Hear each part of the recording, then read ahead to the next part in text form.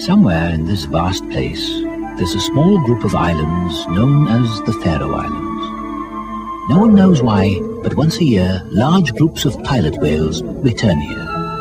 The islanders look forward to their visit each year and prepare a special homecoming for them. First of all, they herd the whales into the harbour. Then they harpoon them.